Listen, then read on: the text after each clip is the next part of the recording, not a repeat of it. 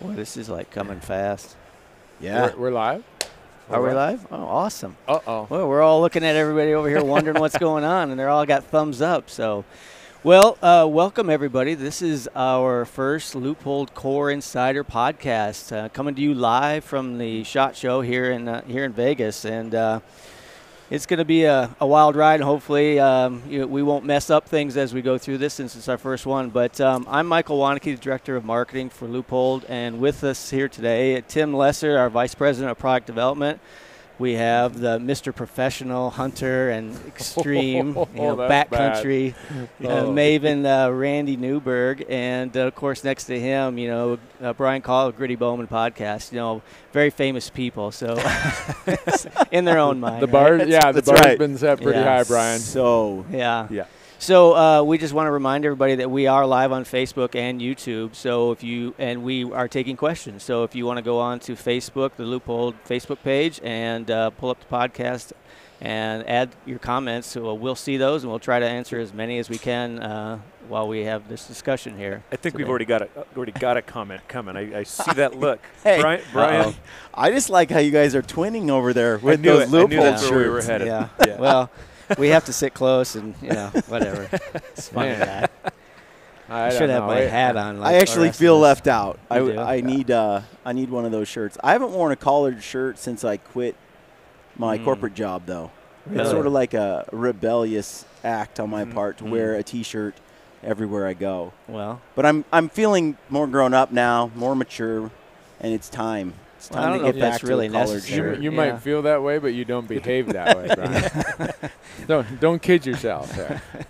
So uh, today we want to talk a little bit about emerging trends, um, emerging trends in, in our industry as well as emerging trends outside our industry, right? Because a lot of times we're all influenced by things that happen outside the industry, and sometimes they cross over into the industry. Um, in particular, fitness is one topic that's obviously started outside the industry and crossed over into ours, and and you know within the industry, um, long range shooting, for example something that's really come on strong, uh, and obviously that's just another example there. So, um, I think today we just want to uh, we want to sit down with with these guys here and, and get an understanding of you know what these trends are, how they identify these trends, um, and and how those trends affect you know what they do in their professional lives, and of course what they do to affect us in our personal lives as well um, as we participate in this this industry that we're so passionate about. So, um, uh, with that said, you know I think uh, you know, just generically speaking, you know, uh, how do we, how do you guys really identify some of the trends that are going on nowadays? What do you have sources that you go to? I do. It's called my Facebook page, my email page, and places where people will let me know if I'm not following the right trend. Oh, okay. Uh, and you get a ton of questions. I don't know about you, Brian, but I get question overload. Uh, and Brian and I were just talking before we turned on the mic. I, I get a lot of requests on Facebook and Instagram. I don't have time to answer them all, but I I read them because I want to see what people are talking Right. about. Yep. I subscribe to a lot of industry newsletters. We come to shows like this. We get to Mhm. see from a product standpoint. You know, Leupold's got this new thing or that new thing, and the archery same side. There's always this continual innovation from a product standpoint, but then there's the trends of how do we share information, how do we research what we're doing. It's Yeah. guys I- get into fitness like him. Yeah. Yeah. I think um, I think for my I've always been into fitness. You know, Right. before just my whole life. You know, Yeah. played sports in high school, played some in like intramural sports in college and I extreme sports, snowboarding, things like that, mountain biking, rock climbing, anything I could do. I've just kind of always been into that stuff.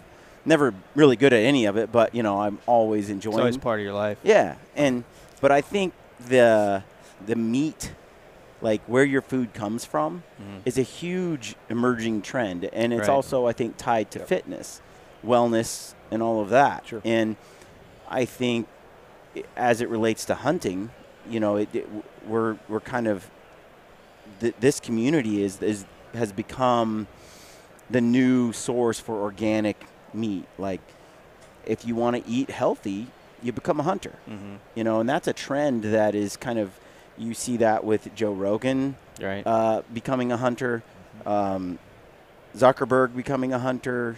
You know, you look at a lot. There's a, there's a number of Hollywood folks. Um, uh, Eastwood, you know, getting out and hunting. So I think, man, it's it's sort of people care about where their food comes from, Right. and that trend is is a major. I mean, it's in your face everywhere you go. Yeah. And for me, I look at hunting as we we are a cross section of general society.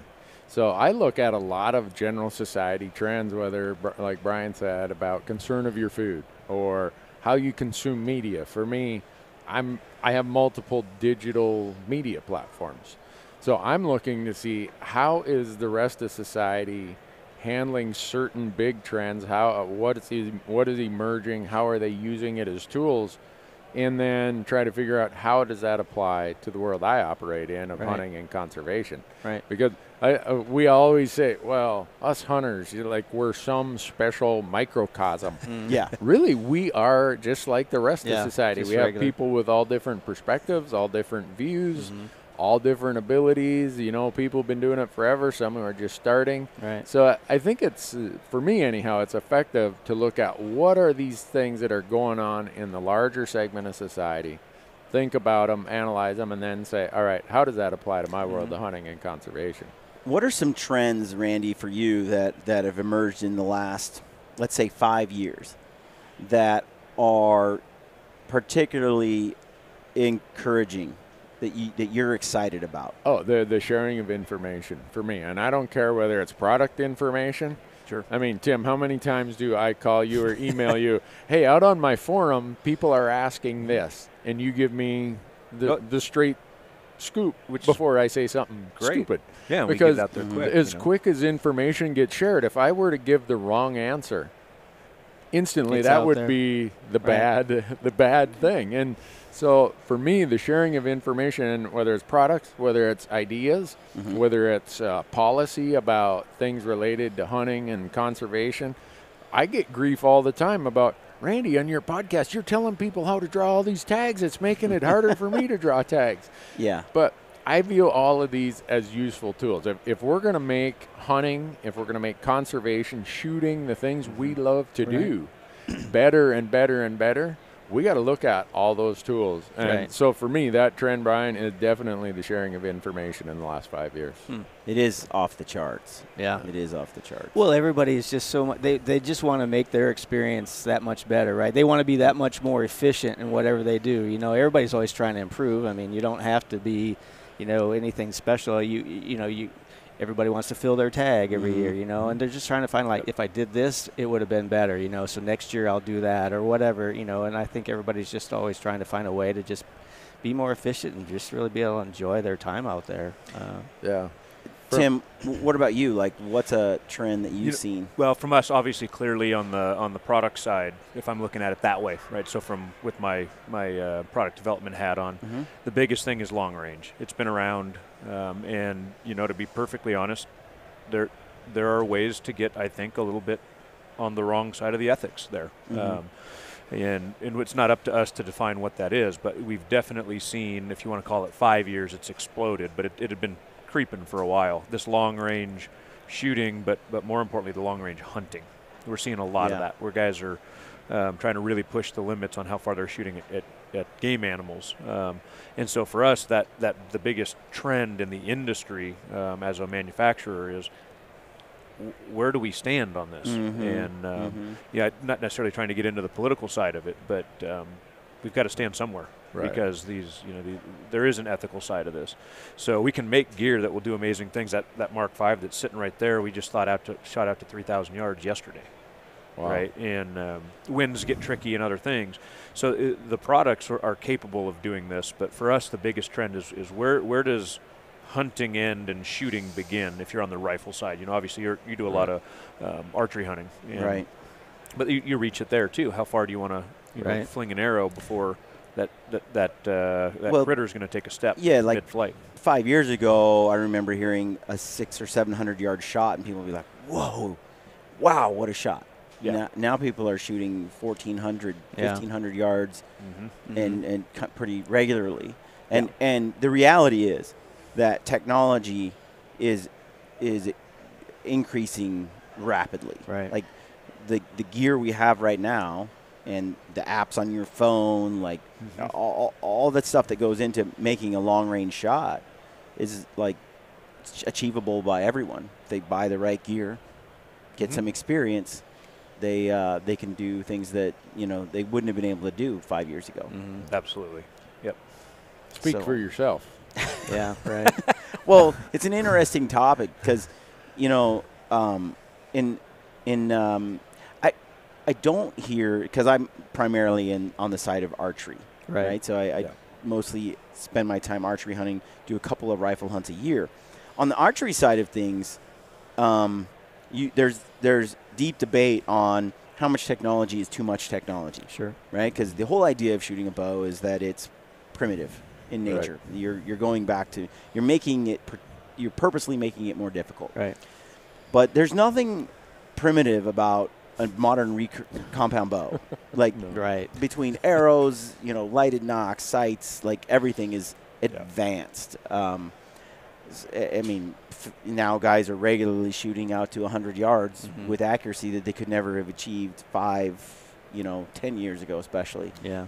So the technology is changing fast, which allows us, in most cases, to expand our our shooting distance Right. right?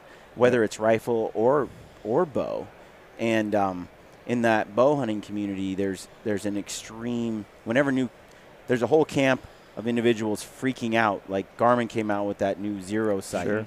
where it it'll it's it's so advanced beyond whatever everything else that's out there, Yep. right? So you pull the sight up, it uh, you can it's a rangefinder Mm-hmm. mounted to the bow basically. It calculates the exact yardage to your target. It actually lights up the pin For- for the exact Yeah. yardage that yeah, you need to digitally. all Yeah. digital. Everything is boom. Like all you do is aim, and and uh, it your sight's dialed, Right. right? Yeah. And so, no need to fiddle with a rangefinder, pull it out of your pocket. No no need to adjust a sliding sight. Like everything's right there. Right. And uh, but it's an electronic device being mounted to your bow Yeah. and um, and so there's a there's a a whole discussion about is this appropriate? Have we gone too far? What will this do in terms of uh, harvest statistics, and are we getting away from what you know hunting is supposed to be about at this Mhm. point? Mm-hmm. And um, so my I have a, I, you know that's a question I have. I, I've I've I think about it often. Mm-hmm. Uh, I have a, my personal feelings on technology, um, and and it's ever changing, uh, and uh, it, it it often conflicts with other other hunters' views on technology. Right. Right. So I'm Yeah. very curious what Randy thinks about this. What's what's too much? Yeah. Is there well, too much? Brian's trying to get me in trouble here, and I don't want to ruin the Leupold brand in two sentences.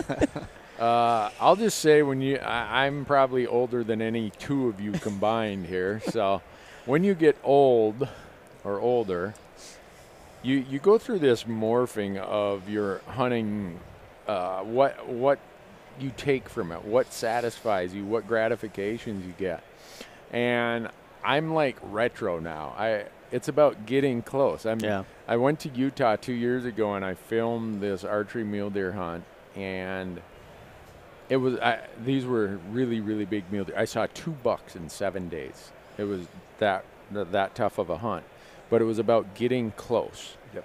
And so when the film comes out, it's called Close. Unfortunately, even as close as I got, I managed to shoot an arrow right over the back Over the of both of them. but that was probably the most gratifying hunt I had that entire season because I said, "This is what I want out of this experience." Right. Yeah. I, it's Yep. not about oh I got to shoot at this or I got to shoot that because when you get to a certain point, and we're lucky, Brian, you and I, we get to hunt a lot. And I tell people if I never shoot another animal, I've shot more than my share. And now I want something that gives me purpose and a sense of accomplishment, and that's not about how far the shot is. And you know, you guys send me the most unbelievable equipment and say, Randy, go use this, abuse it, try to break it, whatever, give us feedback. And I'm probably not pushing it anywhere near what you guys have designed it for. Mm. Because I, you know, you give me a Mark Five or a, a VX5 HD, three to fifteen with the CDS system. Mm-hmm. I, I keep most of my rifle shots under 300 yards. Well, Right. that's not even getting started Yeah, right. with that system. Yeah. I shoot a 308 is my favorite cartridge. Well, you got guys with, you know, a 338 Lapuas with whatever, and they look at me with my little old 308 out there. I feel like I went to Indy with a, a Ford Pinto or something, you know? Right. And uh, so I think part of my perspective on technology, whether it's archery, influenced by the fact that now that I've I've been in this hunting gig for 40 years, I'm really looking for a different uh, uh, Experience. experience that Mhm. where the technology is of that advances or increases effective range that Yeah. you can do Mhm. is not as important to me as technology that works, that's Right. reliable, that's Mhm. durable, that's not going to fail, Mhm. and serves my purpose. So, Yeah, I, Mm. I'm I'm in the same boat as you, but I I think that's kind of the natural evolution of a hunter. In some ways, completely. is yeah. is you may not start out um, with that. Uh, you know, at, at first, I remember shooting an, uh, an elk with a rifle for the first time. That was uh, that was a very to me. Um, now looking back, it's like it's like a fail-proof hunt. Like if I went out on that hunt again, there's no way I'm not killing anything. Right. Back then, though, it was a big giant question mark. Right. Maybe I'll be lucky, maybe I won't. You know, because of my experience level, what I knew about elk, what I knew about the outdoors, what I knew about shooting. Mhm. Like, it was. So I think um, there's a couple things. Some guys are not super fit, right? Right. But I have seen some three hundo dudes shoot their lights out with a bow and arrow, Right. like 100, 120 yards, like yeah. just drill. Like they're they're they're lights out. They're amazing, Yeah. but they're not sneaky. You know, they're not Mhm. sneaky or fit, right? But they're t- I couldn't I and I cannot shoot like them. I mean, I can't. Yeah.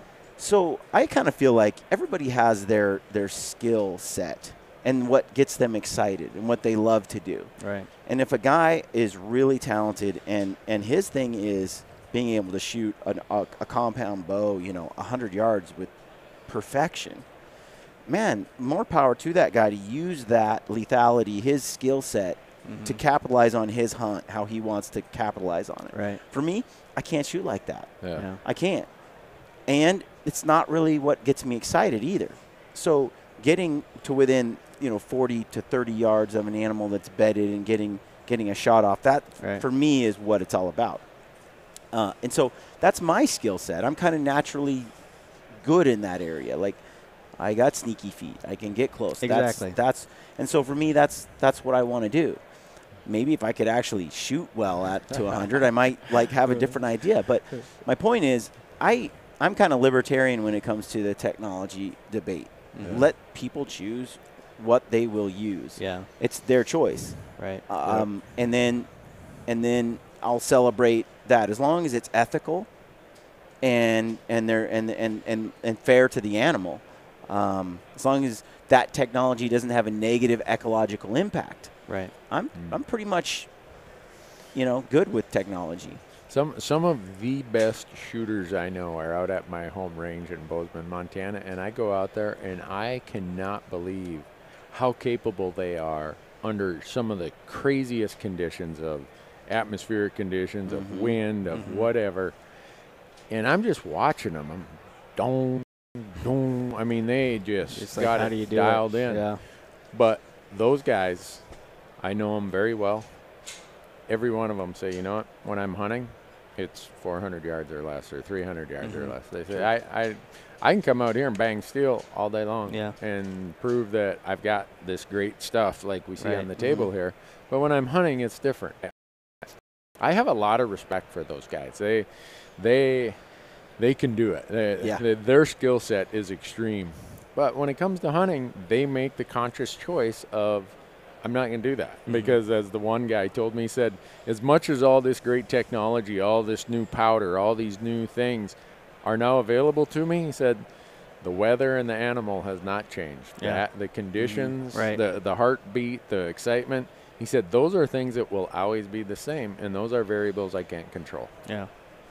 So Yeah, I think like anybody, you know, they it's a confidence builder. You know, like you for whether it's archery or rifle hunting, right? So archery, if you practice out to a 100, when you take that 40, 50 yard shot, you have that much more confidence, right? And Yeah. same thing with shooting, right? You might be shooting steel out past a thousand, but you know that you're gonna you want to shoot 400 or less. But when you do have to do that, you feel really good about that shot.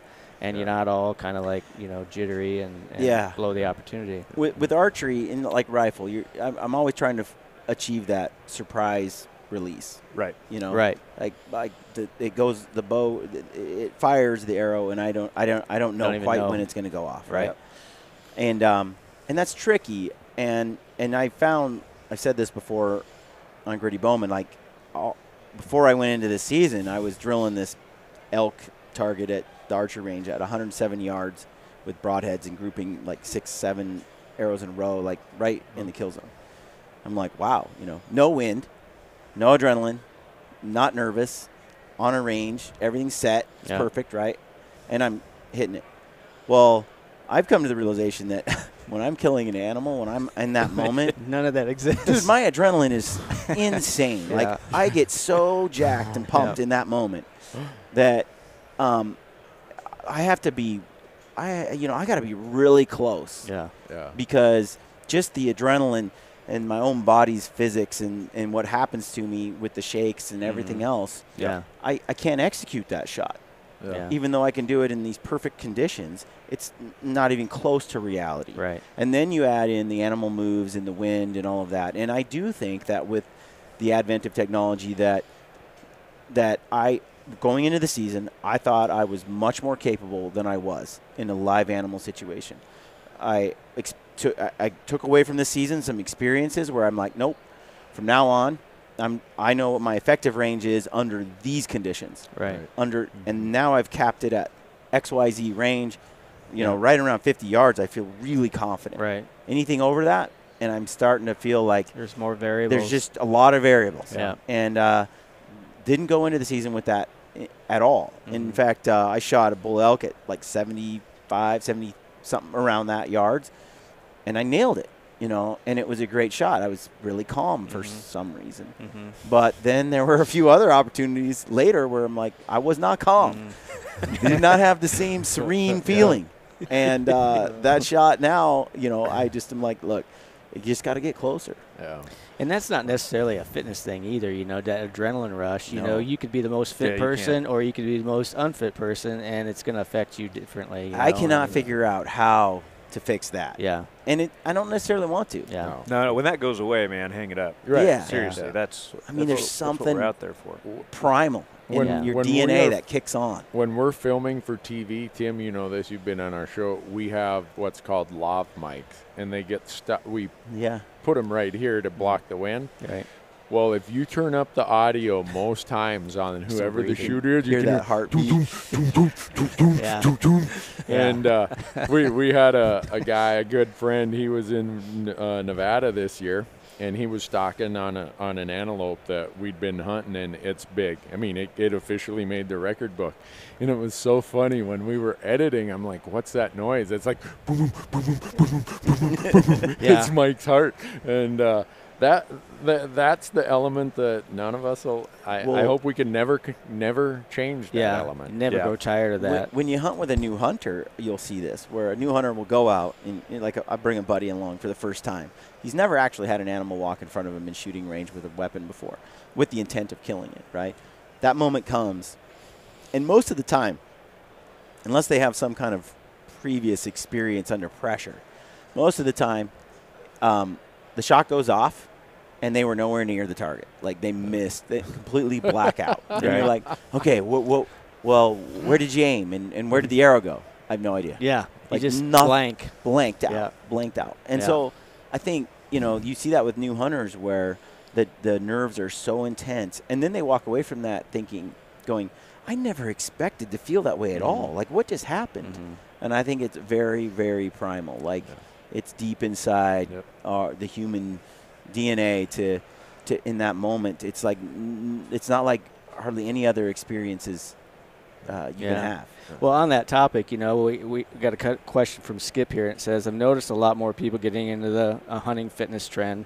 You know, the, the common Mhm. question, uh, what do you guys do to stay fit and to prepare yourself for that? And I know it's going to be a variety of different answers. No, but Dairy Queen and fitness. yes, yeah. I, I drive a desk We for already a covered living. this, I, you know, I my other life, I'm a CPA. I disinherit the federal treasury is how I make my real living, and that requires driving a desk. right. And then you got guys like Brian, who part of the reason I've really got on this Dairy Queen ice cream kick is Brian had me on his podcast, and we got on this topic about fitness. I felt like you may as well ask me to teach Mandarin Chinese or something. I don't know anything about mm, fitness. Yeah. I got a trail out my back door that will take me all the way to Yellowstone Park if I want. I throw my pack on, and if I want to really go and get some cardio, I truck it Go at faster. a faster pace. Right, right. If I want to build core strength, I go off the trail and I put a heavy load on. And uh, that's Yeah.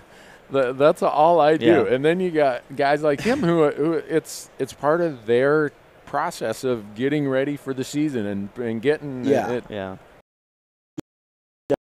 Fitness, whether I um, hunt it or not. Yeah. So for me, it's just life. Yeah. Exactly. A uh, couple of things though that I think are really important, and that's for everyone, regardless of age, but especially as you get older.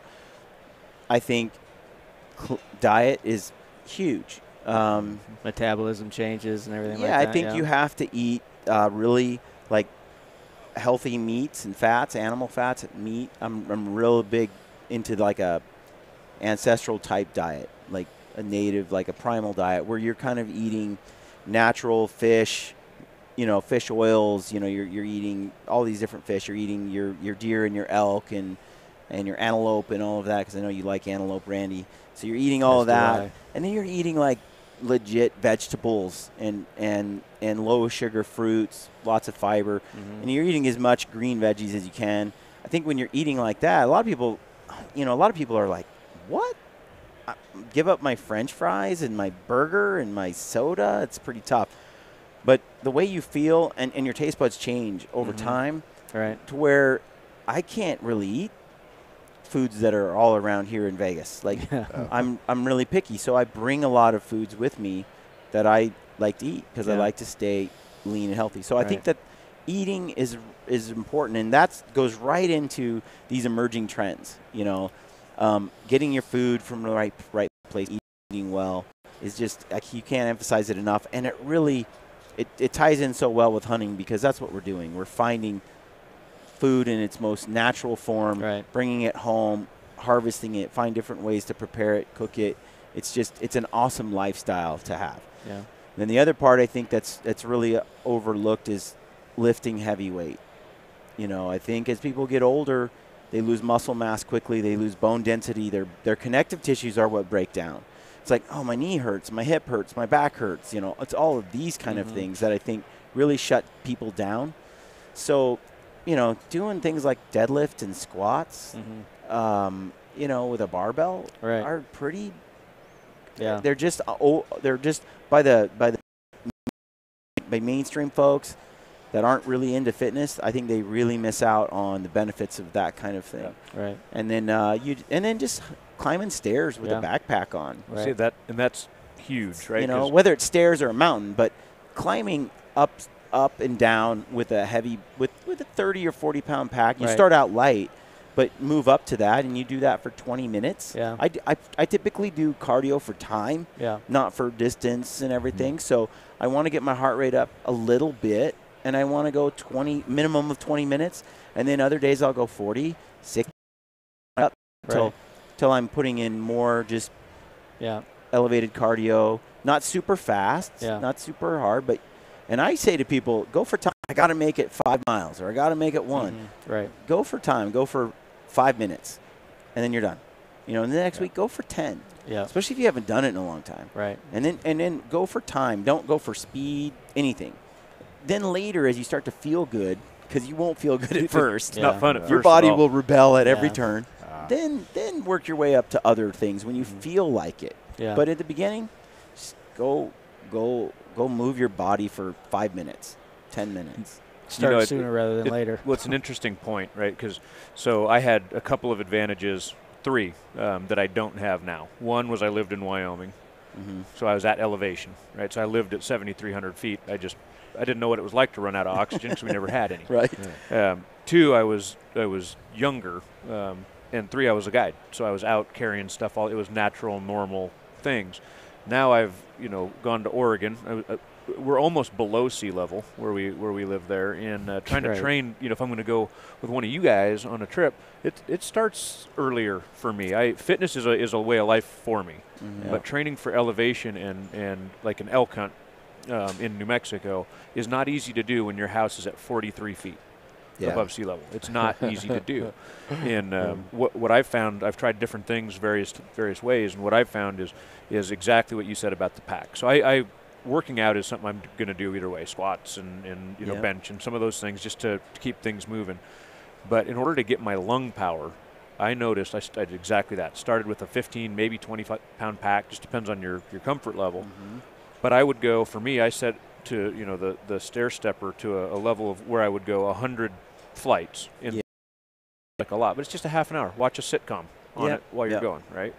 Um, and then to I would a podcast, and then I, yeah, like Hunt Talk Radio. there you go. there you go. Loopholes That's Hunt Talk the Radio. pros. Is, it, Um, is it Loopholes Gritty Bowmen? Uh-uh. Oh, But it's still, they're they're they got a special place in my heart. all right. Okay. in uh, what, what I noticed was the I was getting stronger, but the lung power. So if I went from 20 pi- pounds to 25, boy, that first one the next week, I was lit up. My lungs were. Mhm, I noticed it. By the end of that, um, I was up to 45 pounds, and which isn't heavy compared to a quarter of an elk or anything else. But when I got out there, I actually stood a chance to keep up and, there- and do these things. To that point, Tim, if there's one thing about the traveling hunter, especially elk hunters, if you're coming from the if you can give yourself a day or two to acclimate to the Right. altitude. I, if you've never had altitude sickness, you've never been miserable. Well, if you have had altitude sickness, you know what misery Yeah. is, Mhm. and and I think it, people who get off the plane, drive out to the trailhead, and say, oh, "I'm going to get after it," they're good for about one good hike, and then they're done. Then they're out. yeah. And so, even if you don't have a chance to train at high elevation, do all that you can. And when you get there, give yourself a day or two before you really push it, before Yeah. you really And- get after it. And. I want to say, you know, if you're just you're climbing, climbing is good, like Right. upstairs or just a stair Sure. stepper or, or treadmill on an incline. But a mountain is even better. And if you can, wear the boots you're going to wear when you hike. Yeah. Put them on and use them um, because you need to toughen up those feet. They need to get worked in. They need to get set up, and those boots become like something tight. So So, I, you got another. I was going to switch gears. Michael? I was going to Yeah. switch back to uh, to a little bit to technology. Kyle writes in. He says, "As a new hunter, how much should I invest in technology or slash gadgets?" You know, so so already he's a little bit leery of uh, some of the Uh, technology. I think. based Yeah, well, I made that mistake when I started elk hunting. So I grew up in Minnesota, moved out west. I was a whitetail hunter.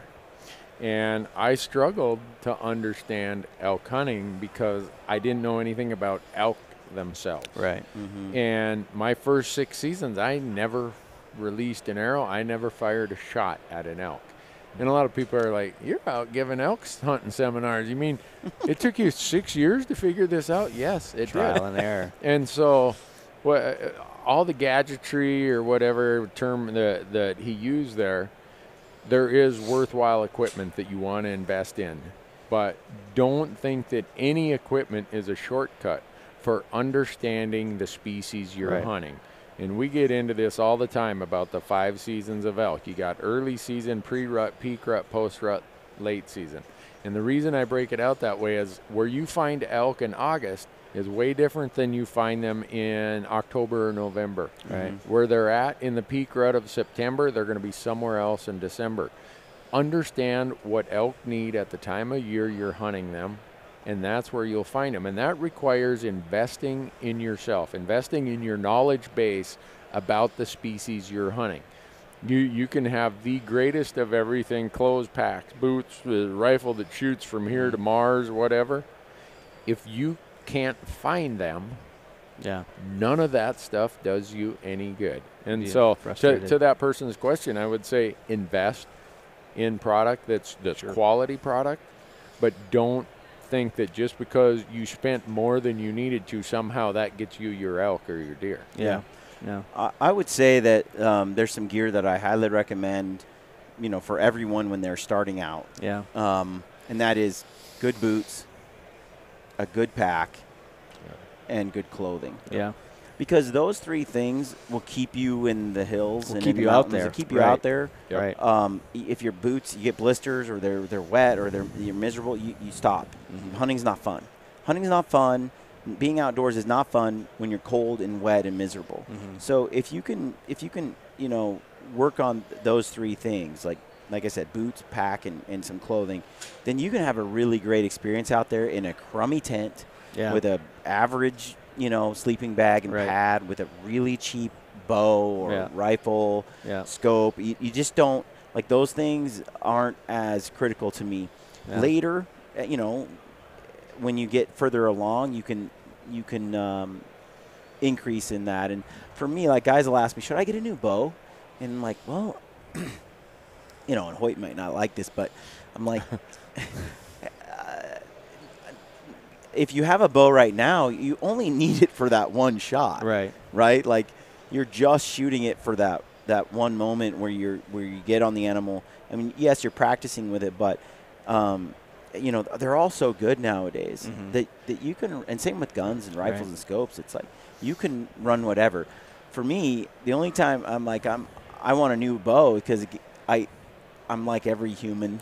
Uh, I once I get a new toy, I actually practice more Yeah. Uh, right? Like you're out there excited to shoot it because Yeah. it's it's new. Mhm. But but in general, no, I don't think you need to spend a lot of money. I'd rather see a guy spend his money on a trip to Alaska or Prince of Wales Island or out, out west to hunt elk. Spend your money there and have some minimal gear. Mm-hmm. Um, and, and I look at how, and, and this is a kind of an emerging trend, but also to this person's question, we've benefited a lot from how what our military is doing to what we get to use in the field from, Yeah. from products you guys build from clothing to Mhm. packs i mean the pack company i use they're primarily a military pack company and they've adapted it to the hunting needs Right. and so, what somebody can get for a very good price. What's the new VX uh, that you guys just released this week? VX The- Freedom? the- Freedom. The Freedom there. Yeah. That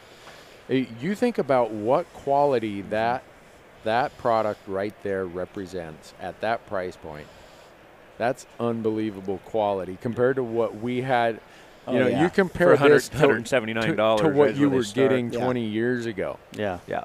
And to me, an emerging trend is, you know, this is an example. Amazing technology that's brought into almost, I don't know if this is entry level, but it is.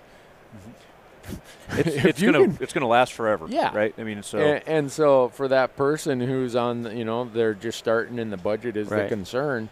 This is a- an investment. It's not an expense. It's not something you're going to throw away after two or three years. It's going to serve you well forever. and the the emerging trend of all these new ideas coming to us as consumers in the hunting world that came from military or uh, you know other industries, I I I would tell the person buy good, make it, and know that it's an Mhm. investment, like Brian said, Yeah. clothing and stuff like that. boots. Yep. But don't don't go overboard. Don't don't go buy gadgets because you think it's a shortcut. Right. Randy, do you do you put more value on on durability than you do performance? Like in terms of uh, you know, I they're equal. I got to have both. I, I'm not, you know, if something is you know su- performs super high, but it's like a little China doll that's gonna break, mhm. uh, that doesn't mean no good. Or if something that built like a lead pipe but doesn't perform that well. yeah, So for me, it's to those are the two things I'm not compromising on. I, I would say like with a bow, I'm in, in an arrow setup. You know, I'm I'm much more concerned now with fail-proof a fail-proof system that I could drop that bow on the ground. I can Yeah. knock it into trees. I can actually drop it in a river and pick it up, and everything still works. Or it can freeze solid in the night and then unthaw in the day, and like actually Yeah. still everything stays tuned. And, and that to me is far more important now than whether or not you know the draw cycle's perfect or something like that. Um, so I, as I go to purchase stuff, I want it to be pretty much bomb proof Oh, as much as possible because I often backpack in really far or I get very remote. And, you know, you get 12 miles into some place and, and we're, we were at 12,000 feet this year hunting elk. I don't, I don't want to go, I don't, to pack out of there with, because your bow had some like tweak on it Right. Yeah. and go get it fixed and come back. When, especially when a lot of people just take a week off of vacation Right. time. That's valuable. You need that equipment to work. Yeah. You know, Yeah. you need your binos, your your rangefinder. You need that stuff to just work. You can't be having having issues with it. So right. when it comes to gear, I'm much more interested in its durability than maybe Mm-hmm. it, than maybe that it's performs perfectly. Well, and that you know that it's interesting. 'cause I've got kids that are that are at the right age now where where we're kind of doing some of this exact thing. What what do we pick and choose first? And Brian, you're exactly right. If those kids, it's Western Oregon. There's Mhm. three days of sunshine a year, and, and they're usually during the week. so you're you're at, at the office, and um, you know taking them out for blacktail or, or for Roosevelt elk is a is a challenge because it's it's big country, it's steep, and it's always wet, right?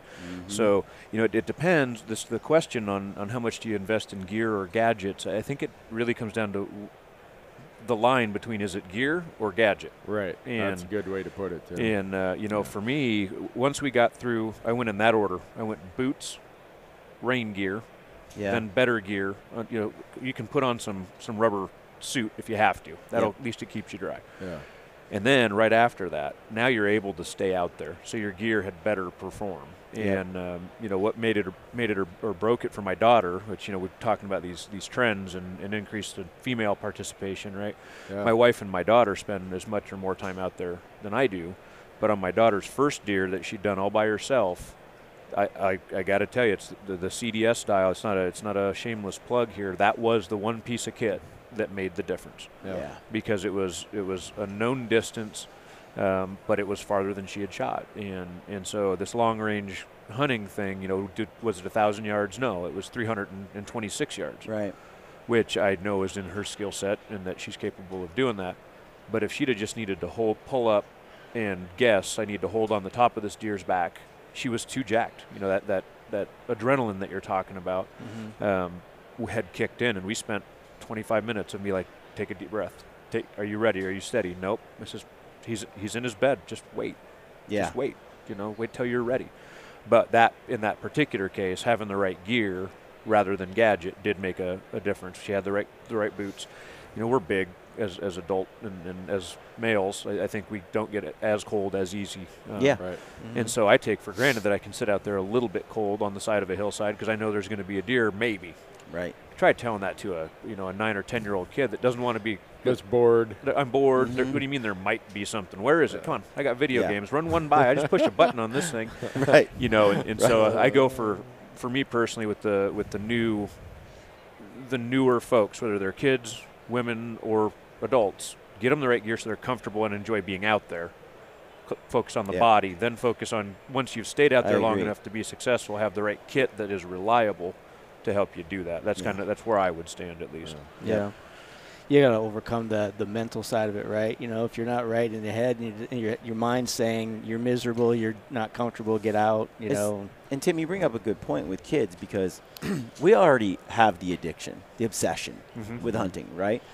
So I can get wet to the bone and still want to stay in, in, in the stand or in the woods for that moment, right?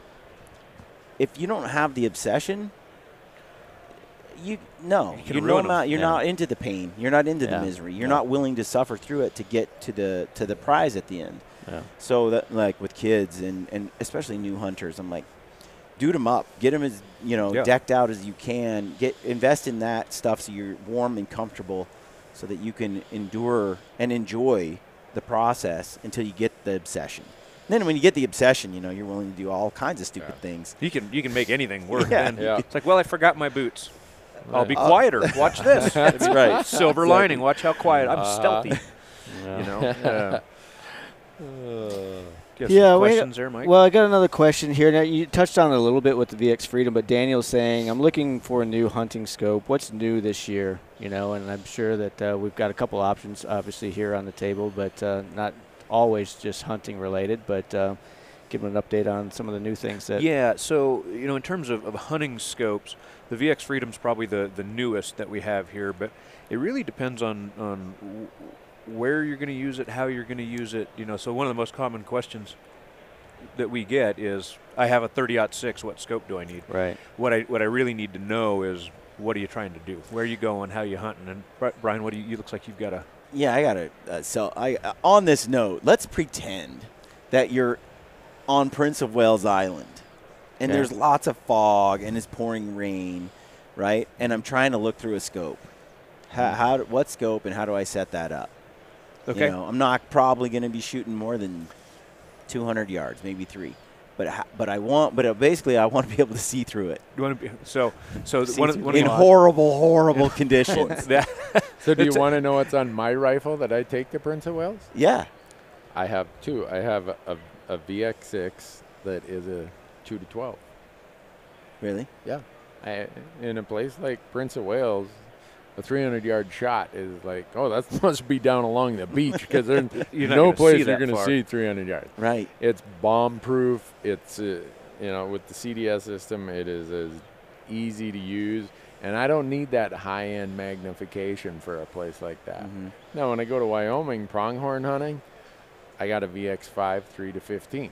Yeah, so to your point, Tim, it depends on They- what your application is. Right. And, so- and I would go versatile. You know, something like that three to fifteen gets down low enough that you can hunt brush. But if Mhm. you need to take a, a longer shot on, on antelope or, um, or whatever it is, even even predators or other Mm. things, you can get up to fifteen. But to your point, one of the, Mhm. one of the things I don't think a lot of people are aware of, you're on you're it's foggy, it's rainy, and typically when it's foggy and rainy, that means you're warm and sweaty if you're moving at all. You Yeah. just it's it, it just is what it is.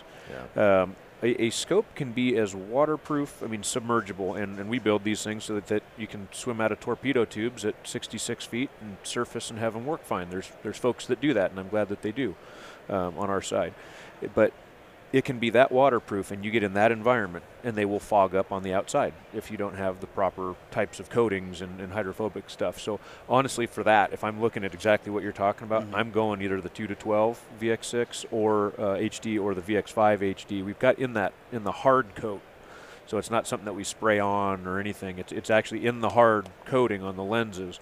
Is a hydrophobic coating. We call it Guardian, um, and Mhm. it's nice if you're in Wyoming because it keeps dust and fingerprints off, but I can fix that, right? When, it's, Right. when it's time to take a shot, if it's not quite as, you know, there's a little bit of dust on the objective, you still see through it. Yeah. Yeah. Um, up up there, Western Oregon, right, is It's been a is- is problem similar for me at times. And so you even breathe anywhere even near that scope, and it fogs on the On outside, the surface. Yeah. and you try to wipe it off, and the scope is sealed, but that's, that's a nightmare. it is, and it's hard to get rid of. There, 'Cause- there are other ways to get rid of that if you've got a scope and it's doing that, and you're not going to go buy a, a brand new one just to, to fix it. Mm-hmm. There are lens cleaners that you can put on. You can breathe directly on the lens, and it won't fog up. S- So th- that's a, another. That's a little piece of, of an extra an extra coating there that will prevent that that you can breathe right on it right now, and it won't let the water That's what I need. condense. Back to bomb proof. Yeah. You know, just Mhm. I need because uh, I beat the crap out of my stuff. I, I just I use it and abuse it hard. Well, it's al- it's it's always lovely to treat them nice, and you take them to the range, and they're in these nice, you know, soft cases, and then you get up there, and Randy takes you across some kind of a rock slide at 12.5, Right. and you've got about 32 seconds before those bulls are going to hit the timber, which, by the way, they're out of sight on the other side of the ridge, so you better Yeah. get to moving, and you have just come from a desk at 52 feet above sea level. Pretty soon, the equipment becomes a tool, and I'm uh, that rifle becomes system. a crutch and a rest, and and helps me stretch out my lower back and all kinds of stuff. And uh, and then you get there, and there's a few more love love marks on the the rifle stock and the scope. And boy, it better still be on, right? You've just Yeah. done all of that, and the bomb-proof piece. A, a lifetime warranty doesn't do you any good when you miss that shot. That's No. why you need the lifetime guarantee, right? You need you need mm-hmm. guaranteed to perform, Right. not warranted to be replaced. Yeah, Yeah. that's the part that just I, I want it to be on. Like I said, in that moment of truth, I need it to work, Right. and I don't Yep. care about that I can replace it later. Like I need it to work now, Yeah. Right now, I- right now, at this point. For me, there is always enough going on, but and obviously filming that's the whole other level. The last thing I want to do is have some tickling little feeling in the back of my mind that I wonder if this piece of equipment's going to perform. Right.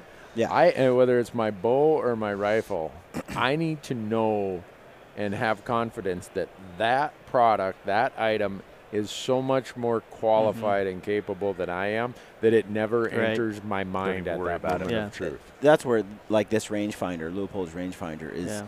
You know, the calculations are incredible, but I can get the range quickly.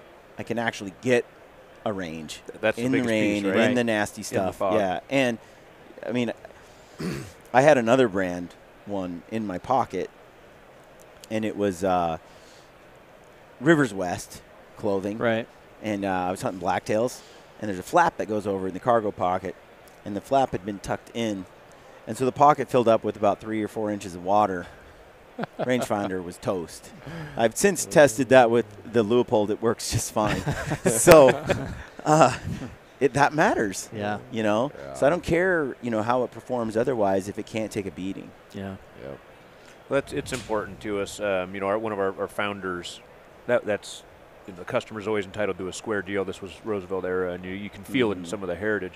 But those those hills where we are, you know, Oregon's a very diverse state. We've got more species of North American game than anywhere besides British Columbia, and that's just because they have one extra moose that we don't have. Yeah. So you can hunt everything from bighorn, you know, so so California bighorn to, to Rocky Mountain bighorn to goats to moose to, and then you get out and you've got all the, the soggy stuff too. Well, Yep. unfortunately, that's where we live. This Is the soggy side where you get webbed toes and, and everything else, and that's where the stuff was founded. It's steep, it's slick, Yep. it's always roughly 45 degrees and pouring. It's a lot like Alaska. It's very similar to Southeast Alaska Mhm. Yeah. without the uh, the better bears and some of that stuff. Lo- Lots of people, but uh, It's got nice Columbian blacktails. It it, it Mhm. does, and and Columbia whitetail. But um, that that durability piece, we fall on stuff a lot, and we soak it in water a lot. And Yeah. we just have to. It's Yeah. part of the lifestyle there.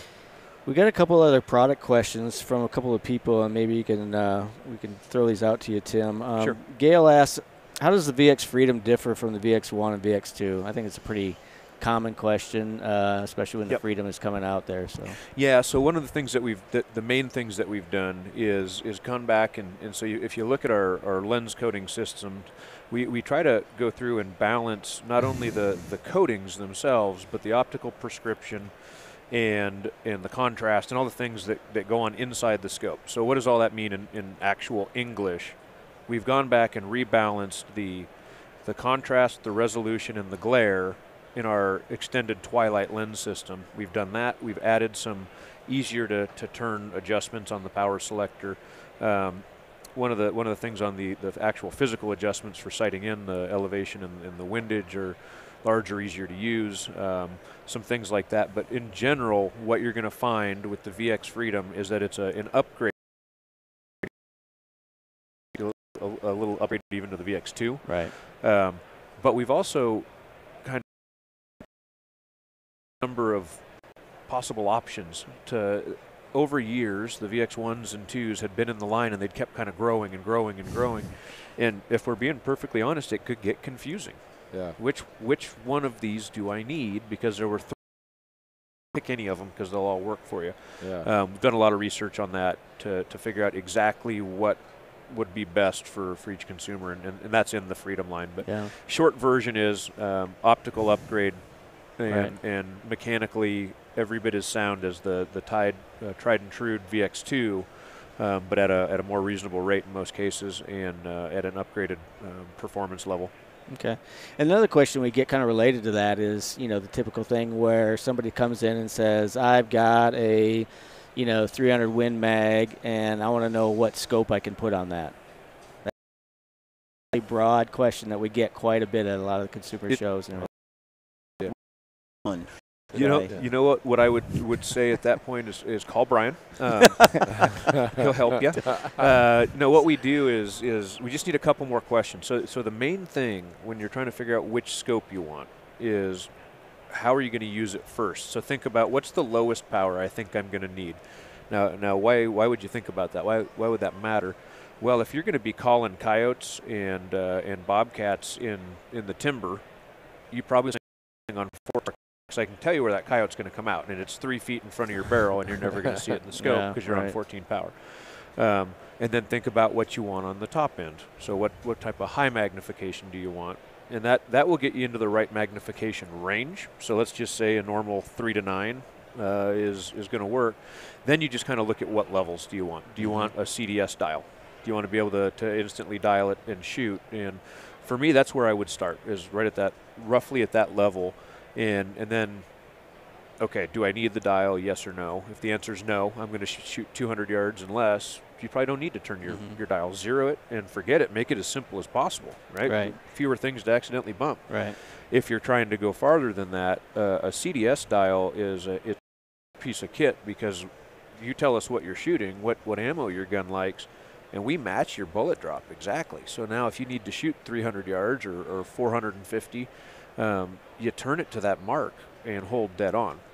Beyond that, you start wondering, okay, um, you know, three to nine or three to eighteen. That's really a question they can only answer Right. themselves, right? You're Yeah. getting two scopes, but you're also you're not getting it for the exact same money. So you're, you're Mhm. starting to pay for some of that, and you, you just need to see what versatility you, you're after. That's what you're buying in a VX5 or a VX6 HD, uh, 5 HD or 6 HD.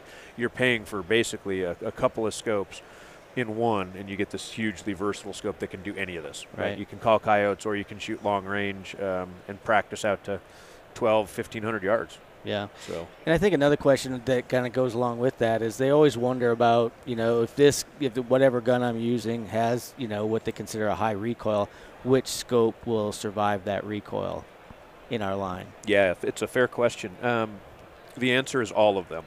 And I know that sounds like a, somebody from the factory should tell you that. We test them all exactly the same. So you picture something that's going to live its life on a 50 cal um, and, and be run by our armed forces, or this new VX Freedom rimfire scope at 179, they, they go through the same recoil testing. So um, whether you're putting on a 458 Lott or a 22 rimfire, um, 17 HMR, anything in between, um, and even the big heavy boomers that you African rifles, does, it'll take all of it. So Hmm. Good to know. they're all built the same. Well, I think we're kind of nearing the end of our uh, 60 minute uh, session here, so I think uh, we We're could just getting we could talk for a long time about a lot of these things. I know, but uh, uh, I think to summarize, you know, it's as far as trends go. I mean, we talked a little bit about, um, you know, investing in the things that will allow you to stay out there longer. You know, generally speaking, that's that's kind of the the way it's kind of. Um, I could summarize that, I suppose, is is that, you know.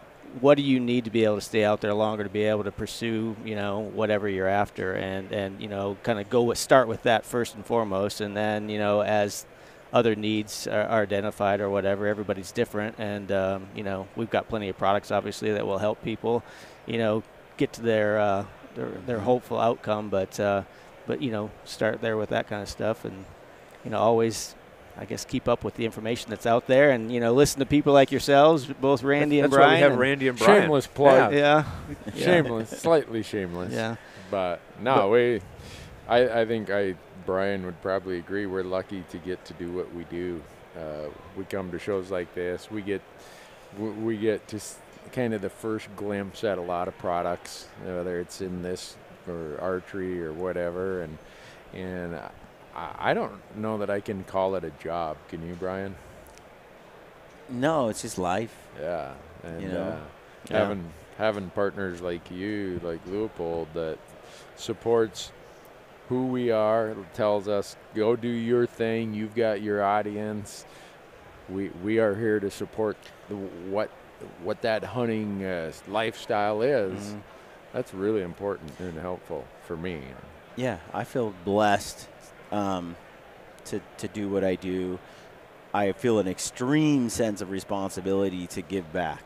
Yeah. You know, and so getting people into hunting, getting getting people to to to. I, I you said this a long time ago, and it's stuck with me ever since. Um, the more hunters we have, the more people we have that actually value wildlife to the point where they want to put their money back into their time and energy and their money back into to the world we live in, to, in into the natural world. And I think that that is really, you know, we're losing species by the day, you know, and things like that. This the conservation piece of what we do is, I think, probably the leg the most important legacy we can leave behind.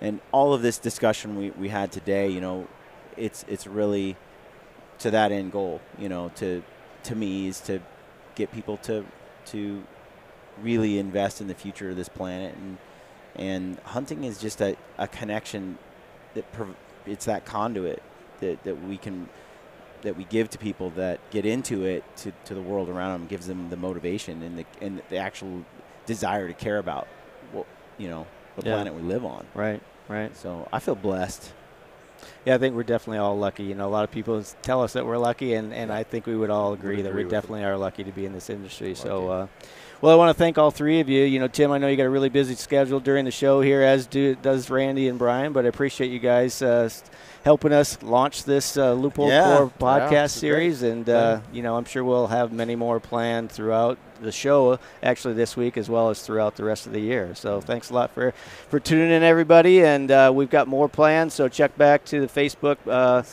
uh, page to get the uh, the updated schedule on and when our next podcast will be. the camera is